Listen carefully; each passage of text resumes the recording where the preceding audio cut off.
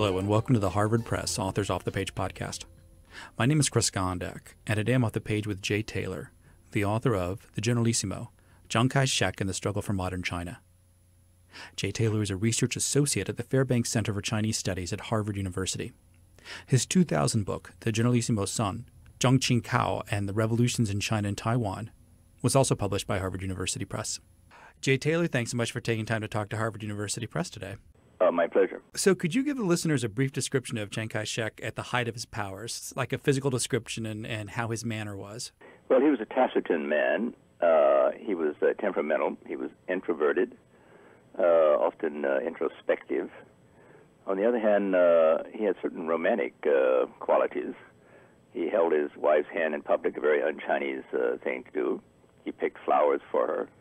He liked Tang poetry he had a book of Tang poetry uh, put in his coffin, but uh, he forgot to put in uh, Sun Yat sen's Three People's Principles. So uh, he was a strange uh, and complex man. Uh, he was a he was a sort of a medium height for a Chinese, probably five eight or something, uh, but very thin, very frail-looking man, and he had a, uh, a high-pitched voice, but a very heavy uh, Ningbo Zhejiang uh, accent which Chinese found difficult to understand. So let's go back to his youth. Um, how was China treated by the developed world during his youth? Uh, during his youth, well, of course, it was subject to humiliation, beginning with the uh, Opium Wars in the in the 1840s, when uh, Britain, uh, particularly, forced upon uh, China the, to accept the importation of opium brought in from uh, British-ruled India. And that led to a whole series of unequal treaties, as they were called, in which, among other things, uh, this meant foreigners like Americans and British and Japanese. Uh, they could not be tried for crimes, even murder committed in China. They had to be tried by consular officers from uh, their respective councils or embassies. So uh, it had been uh, also lost territories. Uh, the British grabbed uh, Hong Kong and uh, uh, Macau I mean, the Portuguese had Macau long ago, and uh, Shanghai was divided up. Most of Shanghai divided up uh, uh, into international concessions. The Germans took Shandong as their sphere of influence, and uh, eventually the Japanese uh, took Taiwan in 1895. So it had been a record of uh, shame and humiliation, which China seemed to be unable to to react to, like like the Japanese. So, how did this end up shaping his views on China? Well, he, he was a very strong uh, uh, patriot, very strong nationalist. And then that turned uh, very soon, uh, when he was probably 18 years old, well, when he was 18 years old, into being an anti Qing, a Republican uh, revolutionary uh, patriot. against the, the Manchu dynasty, which had been ruling China for over 200 years. These were people used to be considered barbarians by the Chinese who captured China back in the in the 1600s. So at that point, when he was 18 years old, he he cut off his uh, pigtail, which all Chinese male had been required to to wear uh, as a sign of sub- subservience uh, to the Manchus. So uh, Chiang, like uh, every other Chinese, including Mao, who also cut off his queue or, or pigtail when he was 18, uh, they were highly nationalistic and uh, and felt this this deep need for for a total change in in China. Now, given the fact that he was a general during the conflict with the Japanese in the 1930s and 40s, I found it interesting that he was trained in the military in Japan. Uh, what was his relation before hostilities broke out? What was his relationship with Japan and Japanese culture? Well, he had he had been uh, to school in Japan. He'd gone to a preparatory academy uh, that was for particularly set up for Chinese students to come who wanted to become military officers and have military training at a Japanese academy. So he had one year there, and then he spent uh, almost a year or more than half a year as a which was required as graduates of that school before actually going into the military academy in a Japanese military unit. In his case, it was uh, an artillery unit. So uh, he had a great uh, fondness for Japanese culture, and he admired greatly Japan's discipline and its efficiency, and and how it had, of course, responded to to the west, beating, as we all know, the Russian Empire in the Russo-Japanese War in 1902. So uh, when the war broke out, though, uh, he had already been he had seen Japan for the previous 10 years as the major threat to China, and this sprang from uh, the Japanese view of Manchuria and, and North China, and, and, and, indeed eventually all of China, as uh, sort of in their sphere of influence. Uh, and this had, this had excelled, accelerated during the First World War when the European powers were preoccupied. But uh, there was a particular bloody incident at Jinan as Chiang was marching north with the revolution in 1928. And after that point, he kept calling, he wrote in his diaries, always referred to the Japanese as uh, dwarf pirates, which was a traditional Chinese pejorative. Uh, so he came to hate the Japanese uh, government and the Japanese uh, samurai system. Uh, so when the war broke out in 1937, he had been expecting it really for, for 10 years. So here in the early 21st century, there's quite a few people who may not have heard of Chiang Kai shek. And the book, if nothing else, gives a real sense of how how impressive his achievement was in both unifying China and then successfully fighting a war against the Imperial Japanese Army. Can you give listeners a sense of the challenges he was facing, really, as he was leading up to the, a formal conflict with Japan? Well, uh, it was uh, the fact that China was a very backward country, had a very medieval uh, army compared to the Japanese. Uh, they were training, uh, Chiang started a training program using uh, the German army which uh, China paid for, German advisors and trainers. And so by 1937, by the time the war started, uh, they had 300,000 German trained troops. And only 80,000, however, had German arms. So they had this elite force of 80,000. Uh, the problem was, they had a few hundred aircraft, but they they were old aircraft. The pilots had been trained by the Italians, not not the Germans. So when the war started in 1937, uh, and Chiang had 80,000 elite forces. The Japanese soon, soon in all of China would have a million elite forces. All of their forces were elite. Uh, the artillery, the firepower, the machine, you know, heavy machine guns, then the air power. They soon wiped out the Chinese army and the Chinese frigates. The, the Japanese Navy and Air Force could go where they wanted. Uh, it took, Chiang calculated it would take, every time they faced the, the Japanese, they would have to have nine to one uh, uh, personnel advantage the Chinese would have to in any hope of of uh, victory. So uh, he faced this uh, almost impossible situation, but they fought on uh, against the Japanese for two years, fought tooth and nail up the up the Yangtze Valley. It took them a year and a half to to capture,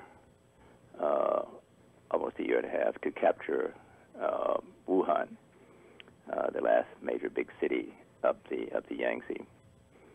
So then he fled up uh, to Qing, but still retained control over two thirds of the Chinese population, three quarters of the land, uh, for the next uh, six years, fighting mostly uh, defensive wars against the Japanese once the Japanese are driven out, um, civil war started, and uh, his name has always been tied with uh, Mao Zedong.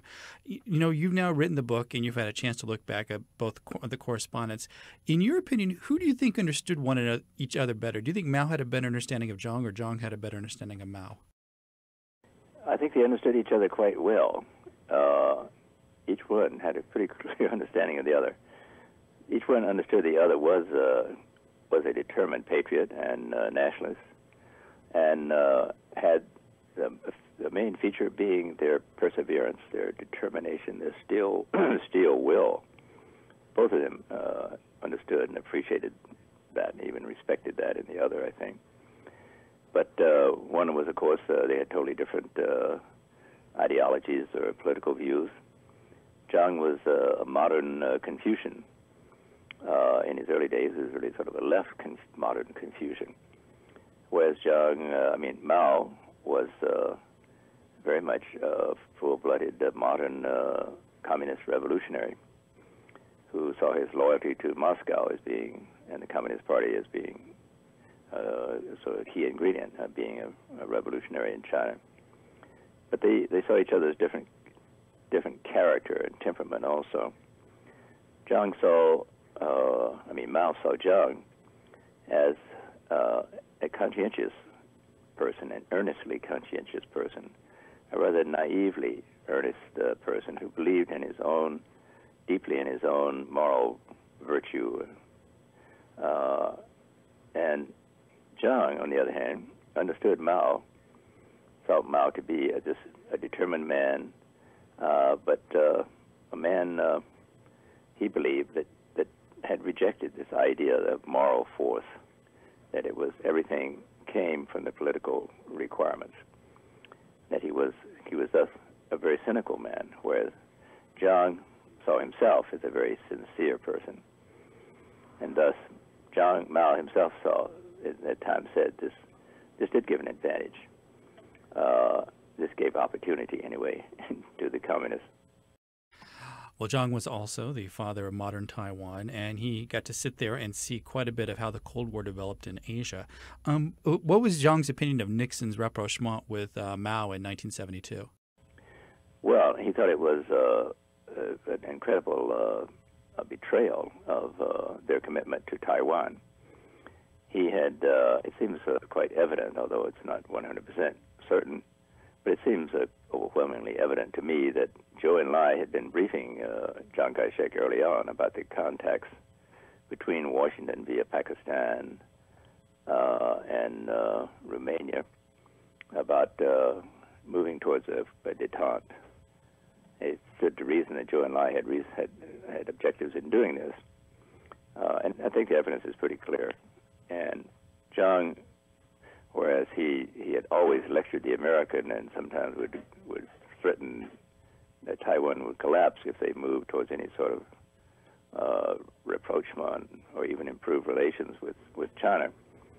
When Zhou informed him at this stage, probably in late 1969, of what Nixon was doing, Jiang realized uh, that he really had no no option at trying to oppose uh, the Nixon and trying to throw uh, a fit and threaten collapse or even defection uh, if this went ahead, that this would not work. And his main task then was try to minimize the impact on Taiwan and prevent this drastic, rather dramatic act of the United States cutting off its ties, official ties to Taiwan, try to minimize the effect on Taiwan's uh, economy, its financial structure, and its investment, foreign investment. And he remained uh, quite quite calm about it, but but all the time uh, hating Nixon for it. So finally, many people have said the 21st century is going to be the century of China. Uh, what do you think Jiang would have thought about the current economic and political status in the People's Republic? Well, I think if he came back today, he would see uh, Hu Jintao also as as a modern uh, Confucius, although uh, a more leftist one than uh, than he was ever had been, but still a modern uh, Confucius who had uh, essentially moved China away from the, the basic heart of, of communism under Mao, the class struggle, uh, the idea of a propertyless uh, society, the idea of world revolution, that Hu, Hu Jintao and his colleagues, he would see, have replaced uh, all of these uh, tenets of communism, have replaced them with uh, Confucianism and the glories of Chinese culture and history as the very core, the moral and ethical core of Chinese society today. Thus, uh, I would say, in the book uh, concludes with the thought that uh, the vision that drives modern China today is that of Chiang Kai-shek, not Mao Zedong. Do you think that he would recommend, if he were alive today, you think he would recommend reunification of China, uh, Taiwan and China? I think he would approve uh, the, what is doing, what is happening today, uh, with the new Kuomintang president, uh, quite surprisingly, uh, Taiwan has re- elected uh, a Kuomintang president after eight years of having a pro-independence government. And so the present government pursues a line that uh, son, Jiang Jingguo, had begun uh, back in the mid-1980s. And that is one of gradual uh, improvement of relations, gradual building up uh, economic and cultural ties, uh, and having political discussions all around the basis on, on the concept centered around the fundamental concept that there is one one China. That is, in that Taiwan is part of it, and mainland China is part of it, and Hong Kong is part of it. Uh, but that uh, how this is to be manifest, uh, that that will be worked out in the in the future, and that the position of President Ma Ying-jeou today is is like that of Jiang Jingguo, that there should be eventually reunification, but it could never happen without uh, the approval of the Taiwan people. It should never happen. And thus, uh, democratization is the key. That only when China becomes democratic uh, will real unification be possible. But in the meantime, not to threaten uh, and disturb matters by asserting Taiwan's independence or intention to move ever in, in, that direction, but instead to re- keep reaffirming the basic principle of one China. So Chiang would Chiang would approve that. Jay Taylor, the author of The Generalissimo, Chiang Kai shek, and the Struggle for Modern China. Thanks for talking to Harvard University Press today. Thank you, Chris. And that was Jay Taylor talking about his book, The Generalissimo, Chiang Kai shek and the Struggle for Modern China. For more information about this and other titles, please visit our website at www.hup.harvard.edu. Thanks for listening to this episode of the Authors Off the Page podcast. Copyright 2009, Harvard University Press, all rights reserved.